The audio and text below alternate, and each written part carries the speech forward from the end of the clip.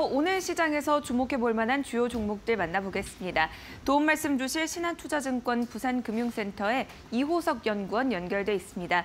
연구원님 안녕하세요. 네, 안녕하십니까. 이호석 연구원입니다. 네, 오늘은 주력 종목 어떻게 준비해 주셨을까요? 네, 오늘의 주력 종목은 PNT, TSI, 하나기술, 대보 마그네틱입니다. 네, 그러면 이 중에서는 또 어떤 종목들이 특별히 중요하다고 보시나요? 네, 첫 번째 종목은 PNT입니다. PNT는 이제 2차 전지 전극 공정 장비 제조사고요. 뭐 대표적인 기술로 롤투롤이라고 하는 이렇게 전극을 말아주는 기술을 가지고 있습니다. 뭐 2차 전지나 IT 소재 분야의 이제 장비를 만들고 있는 기업인데요.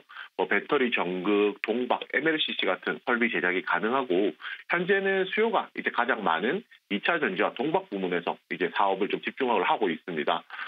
결국에 기존 시장에서 이제 강자라고 할 수 있는 일본 업체들이 한 두 군데 정도 있는데요. 뭐 이런 업체들과 경쟁해서 글로벌 점유율을 확대할 수 있을 정도로 뭐 기술력에 있어서는 어느 정도 보장이 되어 있는 업체다라고 말씀을 드릴 수가 있고요. 최근에 이제 이 업체에 주목하게 된 것은 배터리 셀 업체와 동박 제조사 같은 경우가 캐파 증설을 하고 있기 때문입니다. 어, 전극 공정 업체 전문 업체라고 말씀을 드렸는데 전극 공정이 전체 장비 구입 비용의 한 30에서 35% 비중을 차지하는 고부가 영역이기 때문에 전극 공정 발주에 대한 수혜가 이제 많이 높을 것으로 좀 기대를 하고 있고요. 또 주요 고객사의 점유율을 고려한다라고 하면 테네시나 켄터키 같은 이제 신규 라인 발주까지도 기대가 되고 있는 상황입니다. 응급대항 동박 생산 또한 이제 굉장히 수요가 견조한 상황인데요. 그 주요 고객사인 SK 릭실리스 같은 경우가 2025년까지 캐파를 25만 톤 확보하겠다라고 발표를 하게 되면서 그와 관련된 이제 수혜도 기대가 되고 있는 상황입니다. 네, 마지막으로 이제 뭐 생산 능력 자체가 이제 많이 늘어나고 있는데요.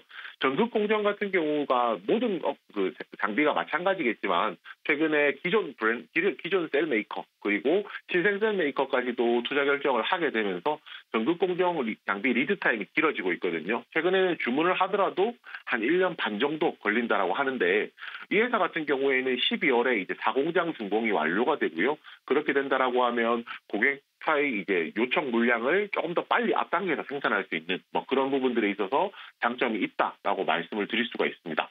그 다음 종목은 이제 하나 기술입니다. 하나 기술은 이제 2차 전지 장비에 있어서는 전 공정을 아우르는 이제 장비 제조사라고 생각하시면 되는데요. 2004년부터 뭐 2차, 2차 전지 장비를 제조했을 정도로 굉장히 업력이 좀 긴 회사라고 할 수가 있습니다. 원형, 각형, 파우치형 이제 배터리 공정 모두가 대응이 가능하고요. 그렇기 때문에 삼성 SDI, LG 에너지 솔루션, SK온 국내 3사향으로 이제 납품 납품과 관련된 reference를 모두 확보하고 있다는 장점도 있습니다. 올해 4월에 이제 20 화성 2공장을 매입을 했었는데요. 결국은 이제 이 공장을 매입함으로써 연간 이제 매출의 capa가 6천억 정도 상향될 것이라고 기대를 하고 있거든요. 결국은 전방 투자가 확대가 되고 장비 쇼티지가 나오 발생을 하면서 최근에 이제 캐파가 늘어나고 납기를 이제 맞춰야 되는 부분들을 고려했을 때 추가 수주도 어느 정도는 좀 기대가 되는 상황이고요. 여기에 이제 턴키라고 하는 것이 있습니다. 최근에 턴키를 많이 들어보셨을 건데 제품을 바로 사용할 수 있도록 이제 완성해서 납품하는 거라고 생각하시면 되거든요. 턴키 발주가 최근에 확대가 되고 있어서 그에 따른 경쟁력도 뭐 부각되고 있는 상황입니다. 기존 셀 업체들 같은 경우에는 턴키 발주를 하게 되면 비용을 소요를 할 수 있고요. 그 신생 업체들 같은 경우에는 제조 경험 자체가 부족하기 때문에 턴키로 받은 턴키로 발주함으로써 이제 제조 노하우라든지 유지 보수와 같은 종합 솔루션을 받을 수 있는 장점이 있거든요.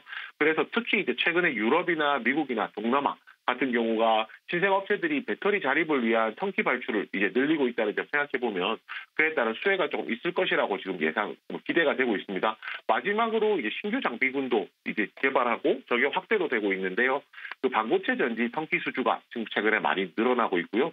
두 번째로 이제 리사이클링 시장에도 선 진입을 했습니다. 이 배터리 리사이클링 시장 자체가 현재는 규모가 아직까지 크진 않지만 앞으로도 규모가 커지는 사업이라고 생각했을 때 현재 사업도 잘 되고 있고 미래의 확장성도 어느 정도 가지고 있는 기업이라고 판단하시면 좋을 것 같습니다.